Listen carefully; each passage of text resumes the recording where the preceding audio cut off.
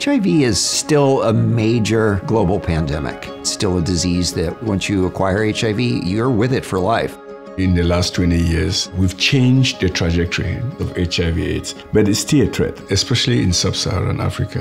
One of the tools in our toolbox for HIV prevention is oral PrEP. It is a pill you take to prevent you from getting HIV. But in order to be effective, you need to take it every day which is hard for people to do, particularly among girls and women. So we need to have some more tools to get to the end of the epidemic. Long-acting cabotegravir for PrEP, also known as CAB-LA for PrEP, is the first and only long-acting injectable PrEP option available. It's formulated into an injection that lasts for two months, and so you don't have to take anything in the interim. The NIH spearheaded the clinical trials for CAB-LA to prove that CAB-LA was an effective mode of HIV prevention.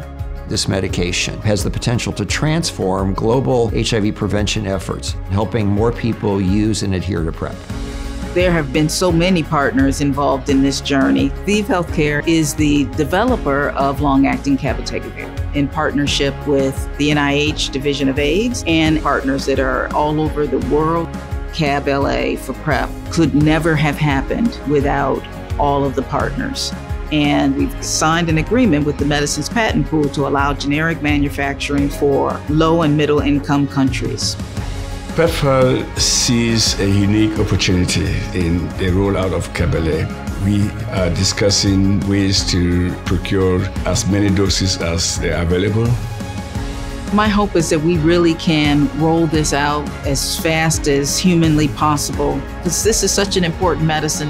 My hope for CAB-LA is that it bend the trajectory of HIV AIDS.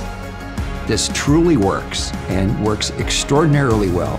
CAB-LA is a game changer and this is going to make a big difference.